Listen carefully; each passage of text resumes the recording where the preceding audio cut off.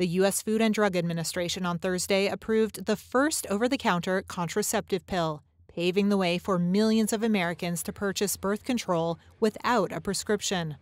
The drug is called Opill, and it's a daily contraceptive pill made by pharmaceutical firm Perrigo, first approved for prescription use in 1973. But starting next year, women will be able to purchase Opill in stores and online without first seeing a doctor. The FDA's approval comes as more states are moving to ban abortion following last year's Supreme Court ruling that overturned Roe v. Wade. In May, a panel of FDA advisors had voted unanimously in favor of Opill's over the counter sale. They said more women were likely to be harmed by an unplanned or unwanted pregnancy than the drug's side effects.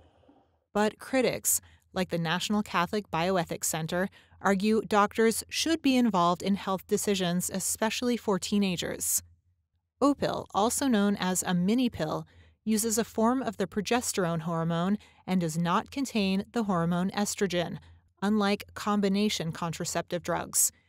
Women are advised to take Opill around the same time every day in order to avoid unwanted pregnancy.